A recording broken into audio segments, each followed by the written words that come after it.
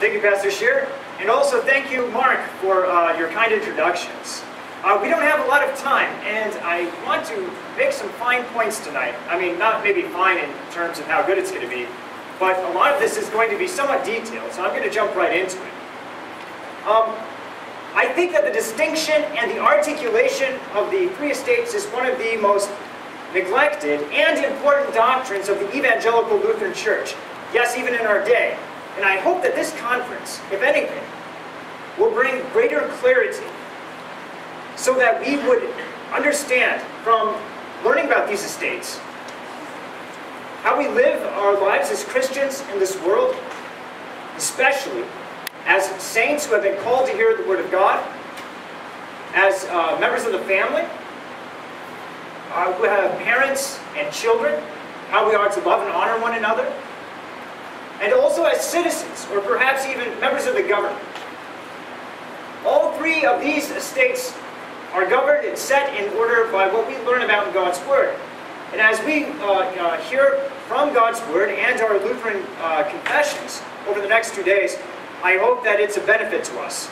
That we are able to uh, listen and gain understanding, especially, especially as the devil and the demons and the powers of this world try to drive wedges between these estates. Especially as they try to break down these estates to the point where the state tries to eat up the family, or the family tries to, you know, take over and replace the church, or even as the church tries to supplant the other two estates. Now, I was ignorant of this doctrine growing up in the mainstream Missouri Synod congregation and home. But that was not for lack of resources, and in fact, I think my dad knew something about this, and he tried to teach me. But so one of the things I hope to demonstrate tonight, especially, is that as we learn about the three estates, we'll find that we don't have to go out of our way, really, to take this doctrine to heart. But in fact, we already have it in the clear commands of Jesus that institute preaching, uh, the clear commands in God's Word that talk about uh, the extent and the limits of go the government's authority, and also as we meditate on, you know, the fourth commandment, what it says to parents and children. We have the resources, we just kind of have to open our eyes to take it to heart and to realize exactly what we have said before us. Now, when I was growing up, I used to satisfy myself when I considered my place in life, especially as a Christian with regard to the state, I used to satisfy, satisfy myself with vague notions of, well, I don't know, uh, the distinction between the church and the state, or the separation between the church and the state, uh, that was taught in grade school. It basically boiled down to what we call the no establishment and the free exercise clauses in the First Amendment. The church is supposed to stay out of the business of the state. The state is supposed to stay out of the business of the church. And then in my mind, what came from that was this sort of hard separation uh, between the sacred and the secular.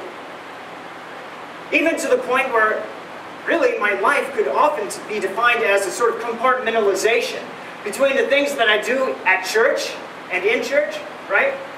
And the things that I do in the rest of my life. When I go to public school, you know, when I sit down to watch a movie with my family, all of that was part of a secular realm where a secular conversation was taking place but when I went to church, you know, here was the place where I would hear about sacred things and holy things, and hear about a language that was unknown in the other parts of my life.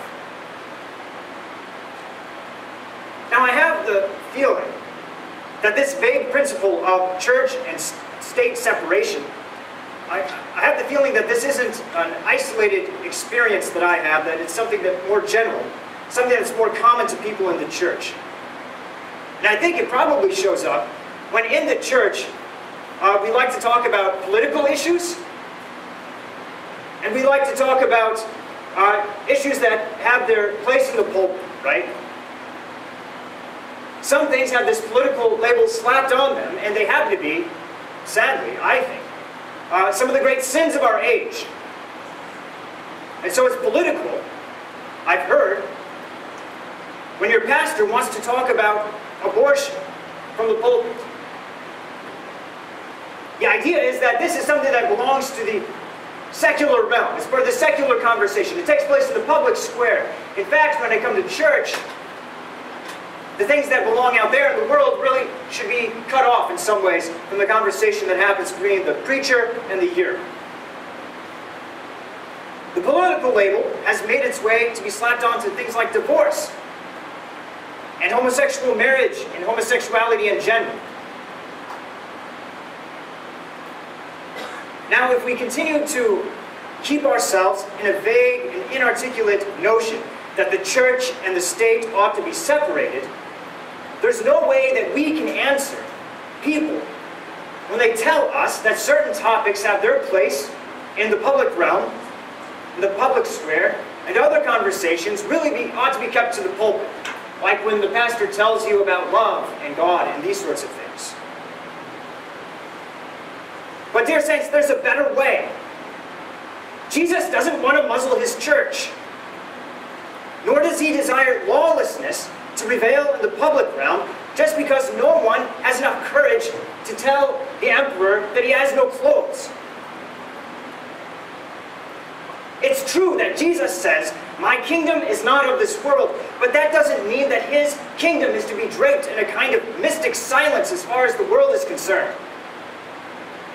Just as Jesus preached his kingdom before Pilate without fear, speaking plainly about it, and so he expects also his Christians to confess his name and his doctrine before men. He says that we must confess his name before princes, rulers, and secular authorities, as we read about in Luke chapter 21. Now, there is an order to how this conversation ought to take place.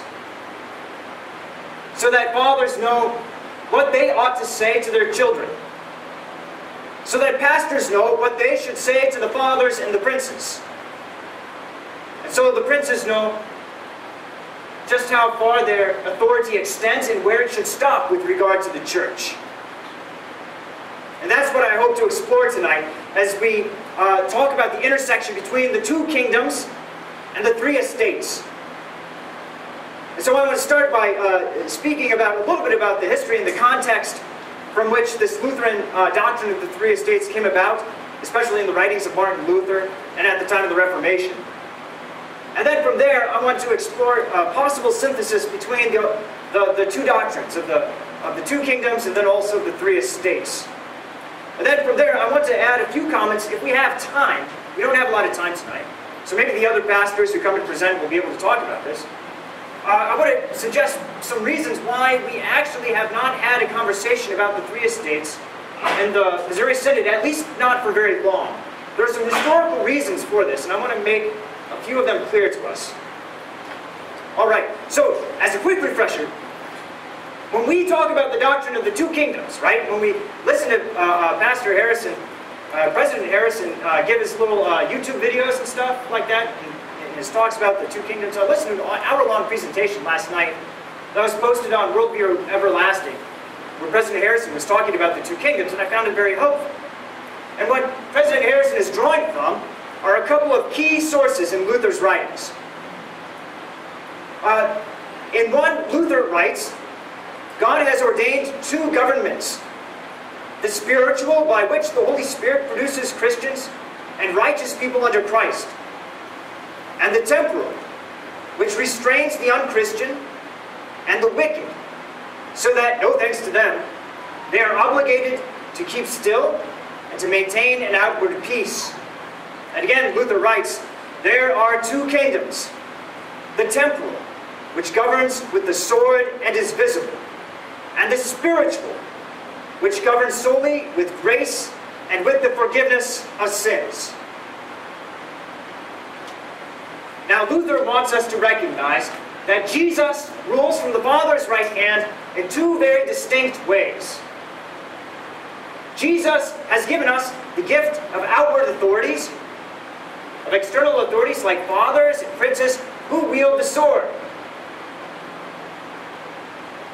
With the sword, they punish wrongdoers, they uphold virtue, they take taxes, and they threaten violence if the law is transgressed. All this they do by force. All this they do by compulsion. Now, second, on the other hand, Jesus tells us that he desires to rule in this world not only through the mediation of these temporal authorities who bear the sword and punish wickedness, who have the law on their side and reason, right? He also wants to rule among us with his gospel.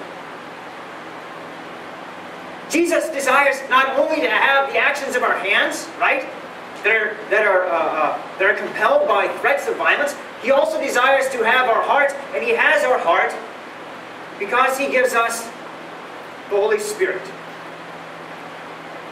Jesus has us in his kingdom of grace because he has died for us upon the cross. Jesus has us because he has given preachers to teach, to proclaim that it is not by works that we are saved, but it is because of his righteousness, given freely to us by the promise that we receive by faith, even a faith worked and wrought in our hearts by the Holy Ghost. Now, these two kinds of authority, these two swords, one in the left hand of Jesus and one in the right hand of Jesus, could not be more distinct. And yet, Jesus is pleased to use each one. But at the same time, we can see, and this is Luther's point, to mix the sword on the left hand that has the law and compulsion and force with the sword in the right hand, which is freedom and forgiveness and grace and mercy, is to destroy both. It's the same as mixing law and gospel, which leads to both lawlessness and despair. And to that end, I think that our synod has actually done a really good job of holding forth this doctrine so that we don't fall into the traps of thinking that our country ought to be a theocracy, right? That our uh, princes, our ruling officials, the people that we elect to Congress and the executive branch, uh, the people who are appointed judges, that they should be preachers, right? They don't have the office nor the command of God to hold forth the forgiveness of sins for Christ's sake. For that, Jesus has given us pastors, right? So we don't want a theocracy on the other hand.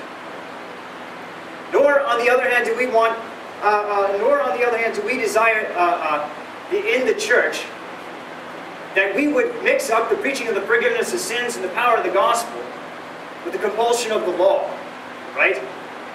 That somehow by our civil obedience and even our obedience to, to fathers and to pastors that we're somehow saved.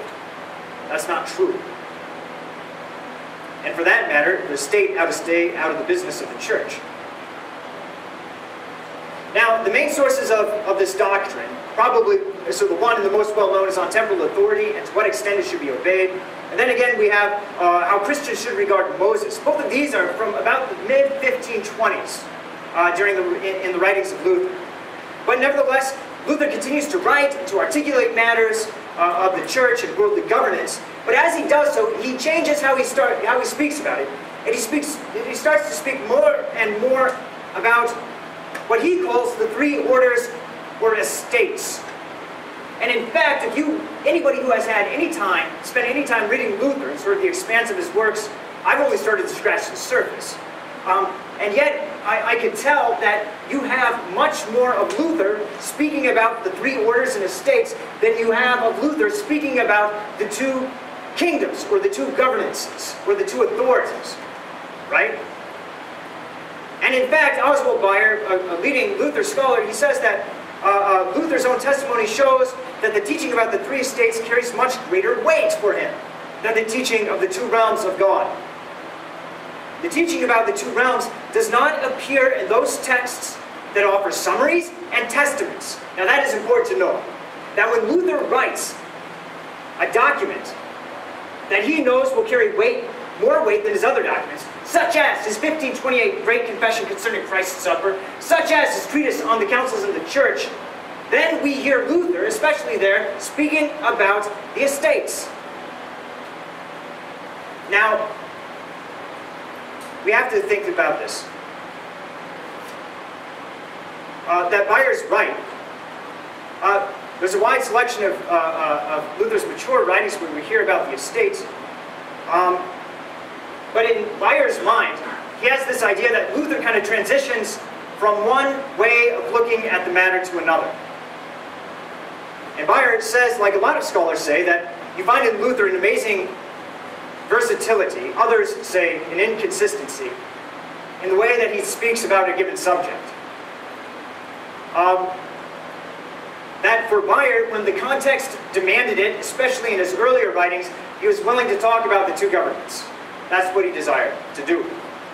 Uh, but in his later writings, as Luther become, became more sort of secure in his place in Wittenberg and his relationship with the, the German princes, then it started to trans, transition into the three estates. Uh, and, it, and for that matter, uh, Bayer says that when we try to synthesize, or we think that there ought to be a relationship between the way Luther talks about uh, the three estates and the two kingdoms, it's not going to work. Such a uh, synthesis, synthesis he calls uh, glib or too facile, I suppose. How do you say that? A French person knows how to say that. Facile, facile, Ha! Anyways, that's what Bayer says, that we shouldn't do what I'm about to do, but I don't care, I'm going to do it anyway. now, what are the three estates? In the history of the Middle Ages, there were some very firm and, and sort of articulate ideas about what the three estates are. And I think we should be aware of that history, and you probably already are. Especially if you think back to your Western civilization classes that you had in high school, and then again in college, right? Do they still have Western civilization classes? oh, man. So, in those classes, I mean, I remember them teaching me this. So the society in the medieval world was divided up in three ways. And you can kind of think about it, uh, you can kind of think about it like this. Oh, here's a marker. You have, let's call this the castle, right? And then surrounding the castle on the hill, you have all these farms where the people are planting and growing, right? And then next to the castle, or perhaps within the castle walls, you also have a church. This is basically the outline of the three estates. You have the nobility, that is the fighting class of people. Uh, you have the workers who work the land, who gain wealth, so that the nobility would have freedom from working so as to fight and to defend the realm. And then you have, watching over both the rulers and the workers, the spiritual class, the clergy. And the clergy, they did their work by praying for the rulers and for the workers. It's good to know and to notice this, that uh, oaths are bound up to this. So when the uh, uh, ruler ascends to his office as prince, he swears to defend the realm. So also, uh, the, uh, uh, the people who are defended by the liege lord swear fealty to their lord. And then also, you have special oaths that are being sworn by the clergy. Namely, oaths that separate them out from the rest of the Christians. So the expectation is, all, is that all of these people are to be baptized. But not all Christians are the same.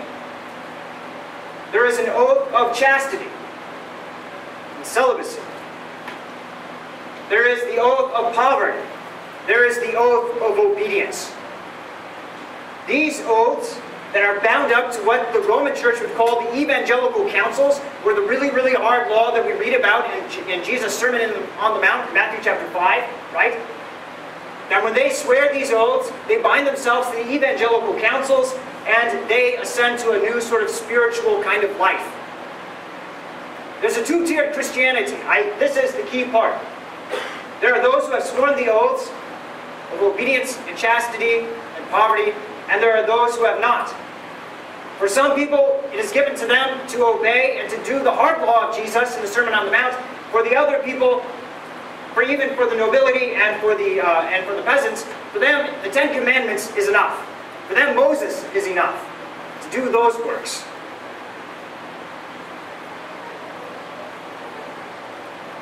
Now, uh, this idea about the three estates. Albrecht Peters, in his commentary on Luther's catechisms, uh, he makes this really bold claim. He says that the idea in and of itself stretches all the way back to Plato, uh, when Plato talks about what the craftsmen, the guardians, uh, and uh, the, the, the, warriors and this sort of stuff, or the rulers, I think.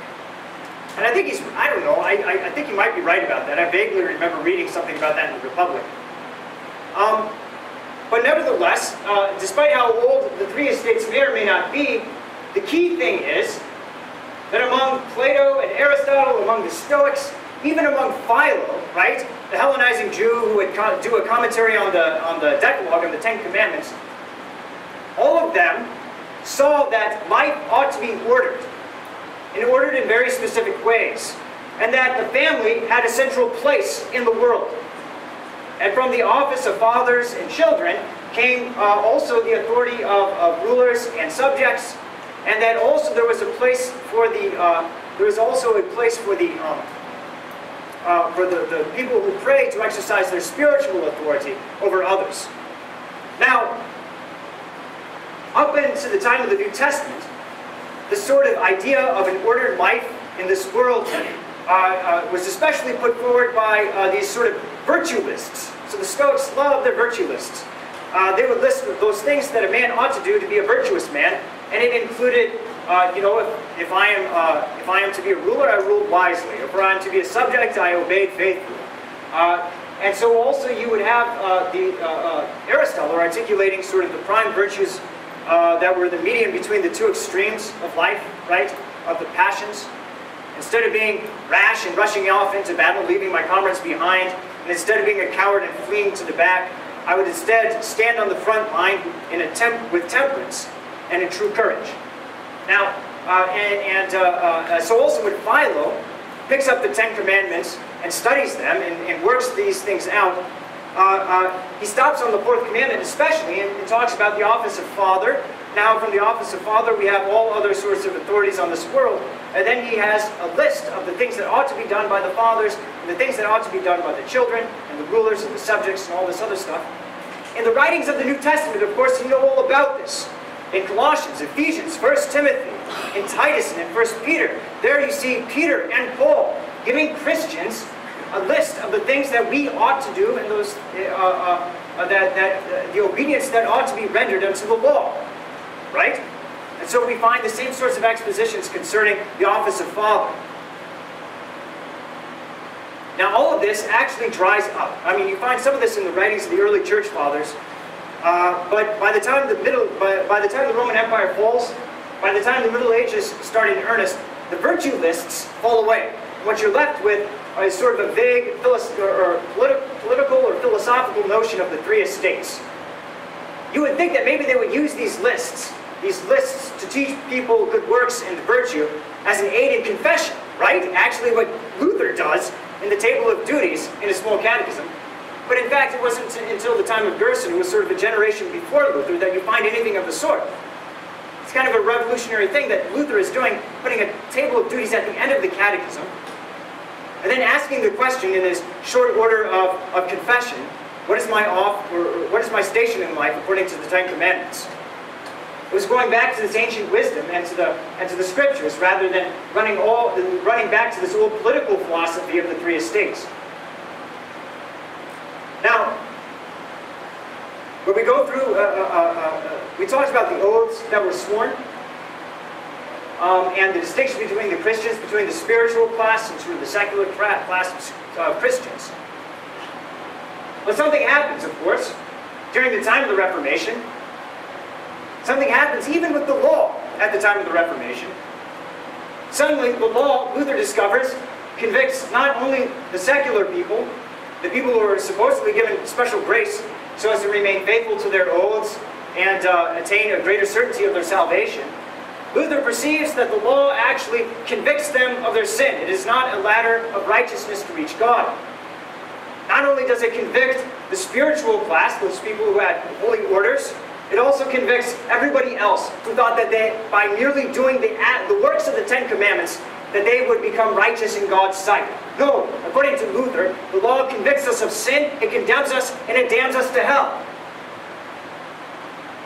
But of course, when the law has done its work, what do we find in the Holy Scriptures? But the righteousness of Christ, the righteousness of God revealed apart from the law, apart from the works of the law. Right?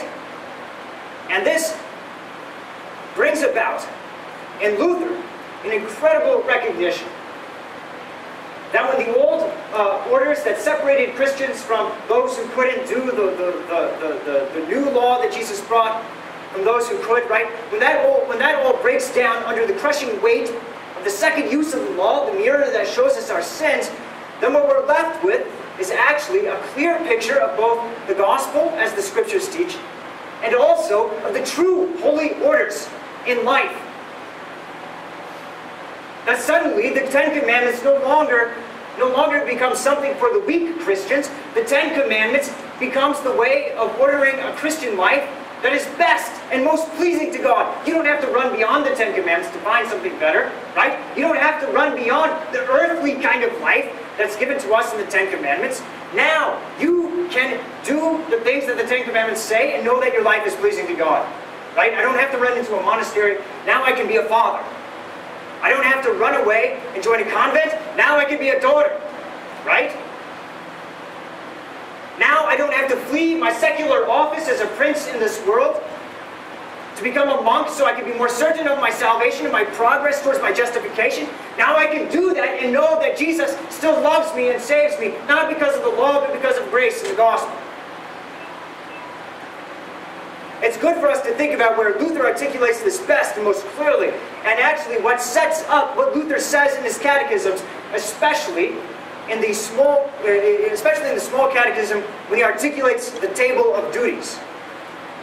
In his Great Confession of 1528, he writes, I reject and condemn as sheer deceptions and errors of the devil all monastic orders, rules, cloisters, religious foundations, and all other such things devised and instituted by men, beyond and apart from the Scripture. See Luther's point? These vows of obedience, of, of, of, uh, uh, uh, of obedience, of chastity, and of poverty, these, these things were things that were, were, were, were better laws than the Ten Commandments. They were designed by men to go beyond the righteousness required by the Ten Commandments.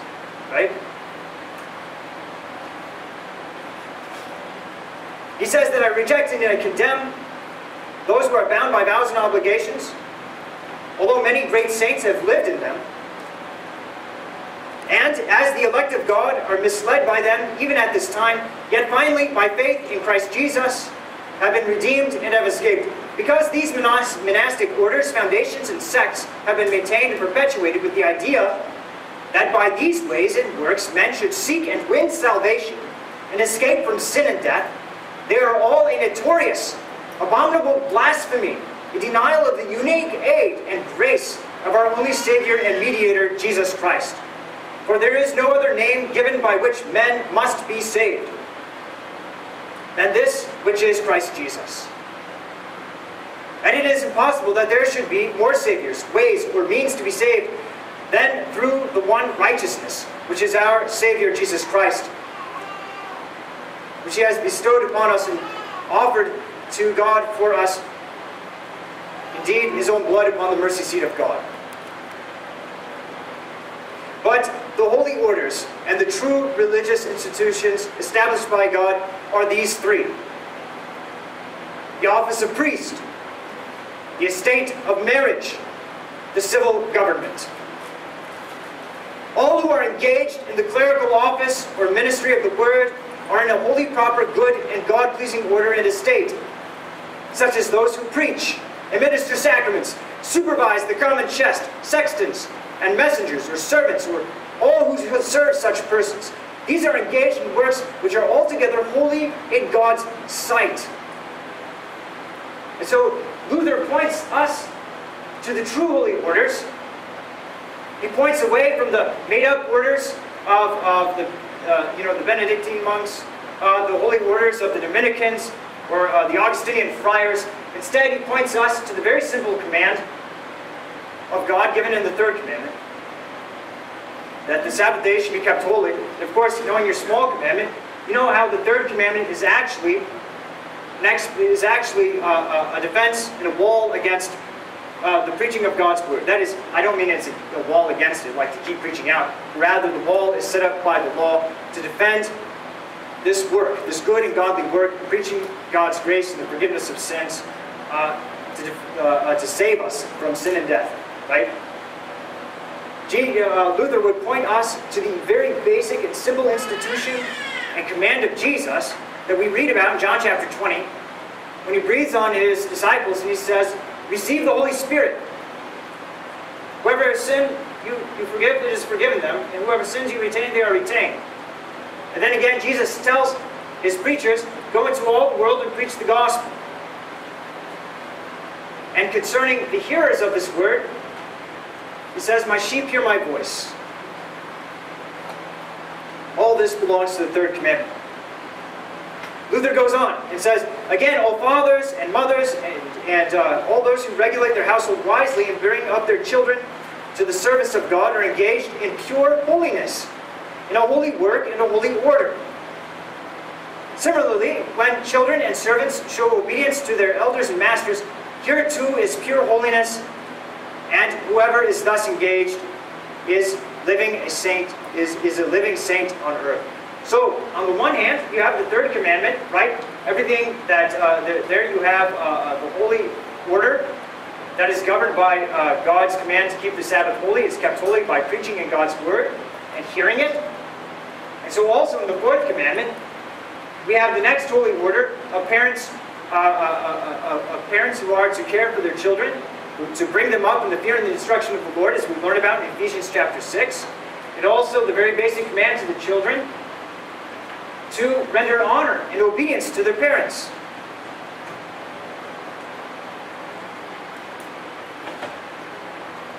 Moreover, princes and lords, Luther writes, judges, civil officers, state officials, notaries, male and female servants, and all who serve such purpose, uh, persons, and further, all their obedient subjects, are all engaged in pure holiness and leading a holy life before God. For these religious institutions or orders are found in God's word and commandment.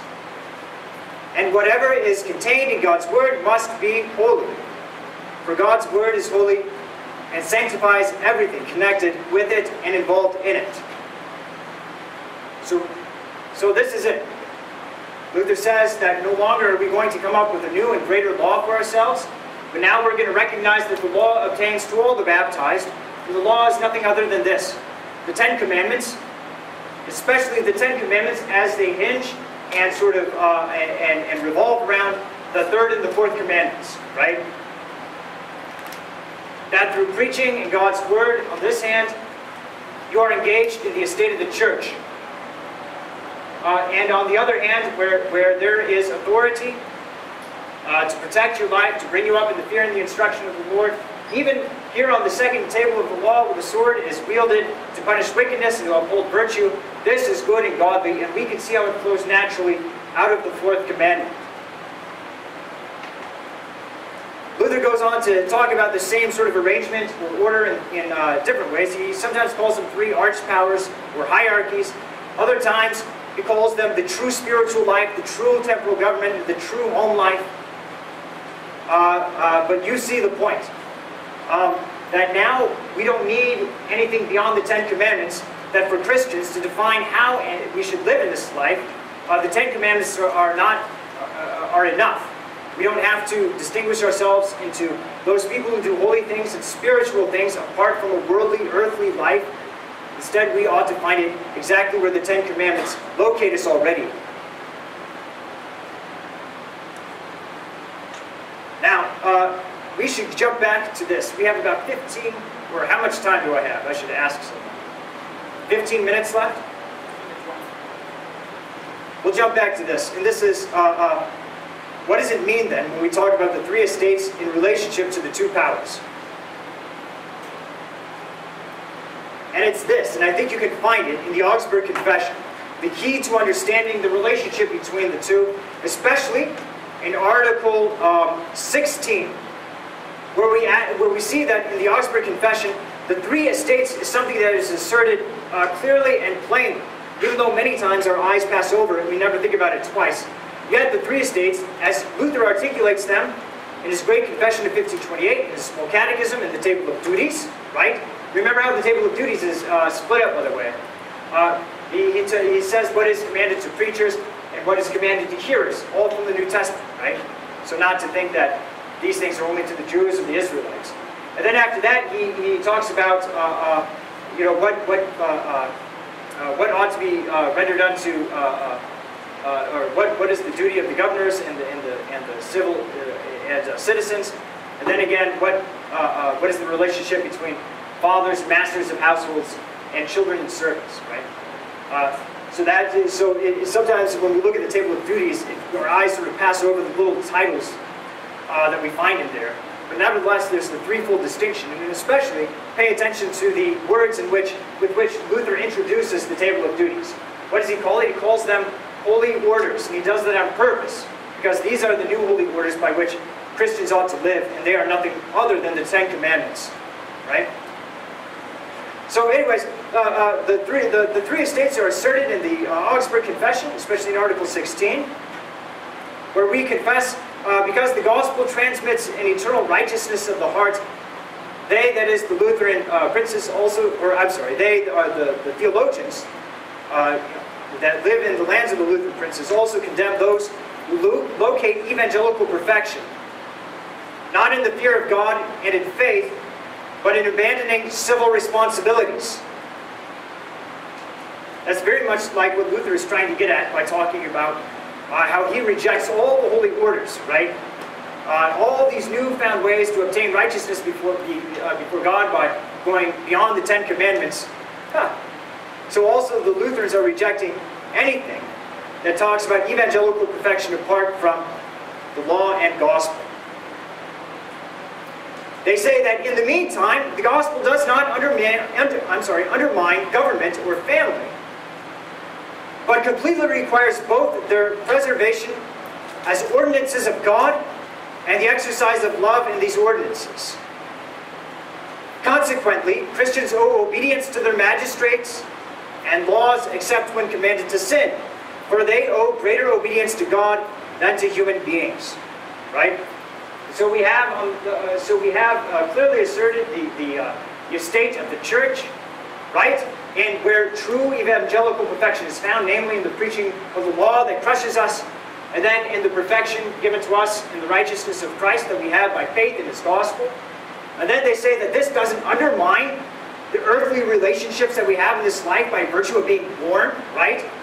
Instead, it holds up our moms and our dads. It holds up the fact that we have kids, we ought to care and love them and protect them. It holds up the fact that there are people who serve in government who bear the sword uh, to fight back uh, uh, uh, the enemies who would attack our borders and even keep the lawless people off the streets. The Lutheran confessors say that we ought to render them obedience up until the point where they command us to sin.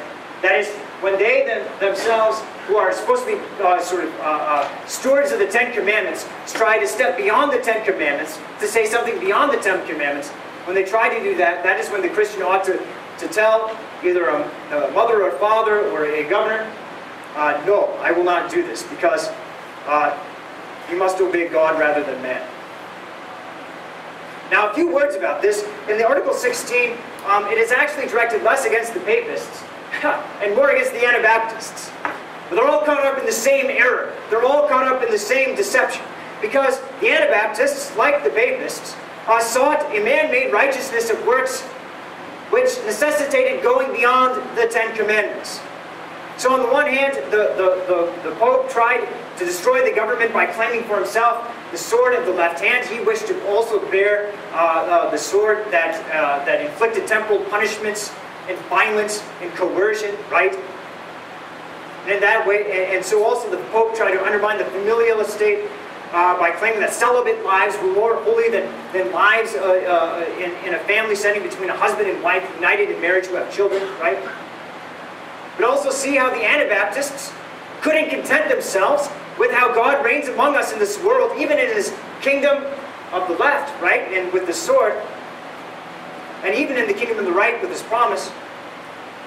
Rather, it was necessary to overturn the rulers and the authorities to institute God's kingdom upon this earth.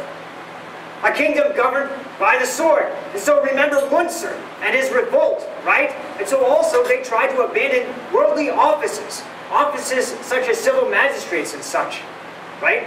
In an attempt to live a more pure and holy life, a life disentangled from the messiness of having to love your neighbor and of having the opportunity of being sinned against and sinning against someone. The Romans and the radical reforms both had the same problem. God desired them uh, to be baptized and to live in the world and not to abandon it, but rather to remain within the Ten Commandments. But instead they wanted to go beyond it. All because they were caught up in this delusion that righteousness comes by the law. In some ways, you know, the law has its, its use, right? The law has its purpose. You see the law in the Ten Commandments, right? But imagine trying to pick up, pick up the Ten Commandments as a tool or as a ladder to reach God. And the very use of the commandments in that way, they become warped and they become less than what you would want of them, right? In fact, it becomes something that gets bent out of shape to the point where you have to try to imagine a, a better thing, to invent the wheel again, right? Now, that is, uh, uh, uh, uh so nevertheless, uh, uh, yeah, that's right. I wanted to say a couple of things about how this was speaking as much against the Anabaptists as Luther was speaking against the Roman, the, the Roman Church. Both had fallen into the same deception and error. Now, later, in Article uh, uh, 28, uh, we don't have an articulation of the three estates as we do in Article 16 of the Augsburg Confession. Instead, in Article uh, uh, 28, uh, they speak directly about the two kingdoms, as we would call them, or as they call it the two powers, or the two authorities. Um, and so it says, in former times, there were serious controversies about the power of bishops, in which some people uh, improperly mix the power of the church with the power of the sword. Our theologians have taught that, for the sake of God's command, everyone should honor and esteem with all reverence both the authorities and powers as the two highest gifts from God on earth.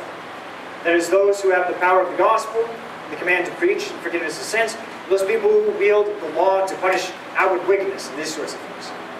Our people teach as follows. According to the gospel, the power of the keys or of the bishops is the power and command of God to preach the gospel, to forgive or to restrain sin, and to administer and distribute the sacraments. For Christ uh, sent out the apostles with this command As my Father sent me, so I have sent you. Receive the Holy Spirit, and so on. The same power of the keys or of bishops is used and exercised only by teaching and preaching God's word, and by administering the sacraments to many persons or individuals according to one's calling. Not bodily, but eternal things and benefits are given in this way, such as eternal righteousness, the Holy Spirit, and eternal life. Secu secular power does not protect the soul, but using the sword and physical penalties, it protects the body and goods against eternal violence. And this leads the confessors to conclude this is why one should not mix or confuse the two authorities, the spiritual and the secular. For the spiritual power has the command to preach the gospel and to minister the sacraments for the salvation of souls. And it should not invade an alien office. And again, they say the powers of the church and the civil government must not be mixed. The power of the church possesses its own command to preach the gospel and administer the sacraments. It should not usurp the other's duty, transfer to the kingdoms, abrogate the laws of magistrates, abolish lawful ordinance, interfere with judgments concerning any civil ordinance or contracts, prescribe to magistrates laws concerning the form of government, and so on. So think about it in this way, guys. You have two powers. You have two authorities that are kept as distinct from, from one another as possible. And what they're talking about, especially in Article uh, uh, 28, is uh, uh, why it's so important for us to understand that the Pope has no jurisdiction in trying to abrogate for himself or trying to grab the kingdom of uh, anything of the kingdom of the left. The sword of temporal punishments and authority of, of, of waging war and of compelling people through the law, right? Instead, he ought to recognize himself, and all true Christian bishops and, and all true, true, true Christian bishops the pastors ought to see themselves over here, in the kingdom of the right, who have at their disposal only, properly speaking, the power of the gospel. So here we have the gospel, and here we have the law. These are the two powers. This one leads to an outward obedience and yet to death spiritually. This one uh, gives us spiritual life, even eternal life before God. Now, the way that, the, and, and this is where the three estates overlap on top of this. And once again, Byron might call this facile or glib, but I don't care. Here on the kingdom of the left, we have what we might call uh, uh, the uh, uh, civil government. Okay? Here in the kingdom of the right, where the gospel is the power and the authority, and the sword of the Spirit, the word of God, we have especially uh, the church. Everything that belongs, uh, uh, everything that belongs to the church here. And then straddling the two, here in the middle, apparently Pastor Wolfmueller has been teaching this for about 10 years now, and I'm only now catching up. Uh, here in the middle, we actually have the estate of parent. Why? Because we have articulate commands in God's Word, where the parents are to bring up their children in the fear and the instruction of the Lord. That is, they are bound to teach their kids the law and the gospel for the salvation of their souls. Right? Ephesians chapter 6. So also, we have a, a, a command that parents should, you know, use the rod, and that they ought to uh, teach their children how to obey the law so that they don't end up in the hands of the hangman, as Luther says in his uh, work on temporal authority and to what extent it should be obeyed, right? So there you have it. Uh, you have two distinct powers, and they are ordered in three different ways. Uh, and you can probably think about it in this way. For your pastor, he has the sword in his right hand, and really that is all he, all he has been authorized by Jesus to wield, uh, uh, uh, to wield, you know, for the salvation of souls. He preaches the law, of course, right? He always preaches the law, but it's not to the same extent uh, as the civil magistrates who have the power of the law to kill. The pastor doesn't use the power of the law to kill. Rather, what the pastor does is he uses uh, the power of the law not to kill bodily, but spiritually. Uh, he doesn't actually pick up a sword, a literal sword, as St. Peter tries to do, and as he cuts off Malchus' ear in the Garden of Gethsemane. Remember how Jesus rebukes him. That's not what he is to do. All who live by the sword die by the sword, which is a truism for everybody over here in the civil government. But for St. Peter, for Pastor Wolfmueller, Pastor Milius, you know, for Pastor Packer back there, and all the pastors who are here, Pastor Burke, all that's been given to us really is the power to, to wield the sword of the God's Spirit in the Word, to save souls by this preaching. The parent has this ordered for him in both hands, right? by virtue of having both commands from God. Um, that did, that's not to say that the office of parent is somehow uh, uh, makes the office of, of, of, the church unnecessary, right? Because once again, Jesus institutes the church uh, in, dis, in, sort of in, in, distinct terms, apart from the fourth commandment. All right, now uh, this is a bit this is a bit tricky, and it's a bit of it is a bit of threading uh, the needle. But it is important to know that both when Luther talks about the two, the two kingdoms, and also when Luther talks about the three estates, he talks about it in this way. He'll always talk about the kingdom of the right as a kingdom that can save you. It can save you. Because what Luther is talking about is the actual preaching of the gospel, the promises of God to rescue you from sin and death, right? This kingdom will save you. Um, he says concerning the kingdom of the left, it will not save you. It can only threaten, uh, get violence and kill, right? Yet, when Luther in 1528 articulates the estate of the church, he doesn't keep it merely to the preaching and the faith that grabs a hold of the word. He actually includes other things that belong to the church, uh, other things that belong to the church outside of the narrow definition. Uh, he talks about uh, uh, uh he talks about sextons. Remember, he talks about the people who keep an eye on the money chest. You might as well be talking about the Synod and the International Center. These are all the things that belong to the order of the church. There is an order of, that, that, that, that exists, right? In any given place where there's a congregation that sort of organizes the fact that you're going to have a church service on Sunday morning at some point, right? That's something that belongs to the law and, in fact, the third commandment, but it is not to be equated with the very preaching of the gospel that is the kingdom of the right and is equated with the sword of God's right hand. The law, in this case, the law of the third commandment, seeks to uphold and preserve uh, the preaching of the gospel. Uh, uh, but it does, but it ought not ever to be commanded, or I'm sorry, but it ought not ever to replace it or to be sort of confused with it. Because as Luther points out, all three of these things These two belong to the third, uh, these two belonging to the uh, fourth commandment, this one belonging to the third commandment, they are still law. And in fact, after Luther gives this beautiful exposition of the uh, three estates, I see Joshua Scheer standing up. Lord have mercy on us. I'll stop pretty soon, I promise. Just give me two more minutes. Look, as soon as Luther explicates the three estates and calls them holy orders, right?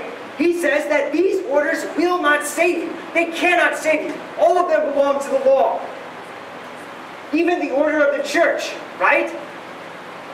Even the order of the third commandment, that cannot save you. The only thing that can save you is the power of the gospel, the preaching of the forgiveness of sins. And so even though there is an external order and a way in which we can look at the church in this world and rightly call it the estate of the church, and see it as distinct from the estate of parents and civil government as the scriptures teach, still it ought never to be confused with the preaching of the gospel in itself. Right? If I have nothing, I, I suppose if I have nothing else to say, that would be enough.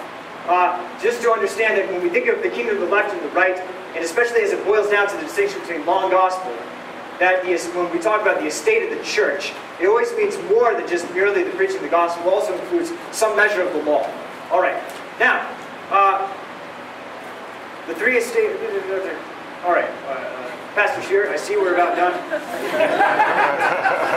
I kind of wish I could hold you all captive, but it is very hot here, and it is time for us to pray. So thank you for your time and attention. God's peace be with you all.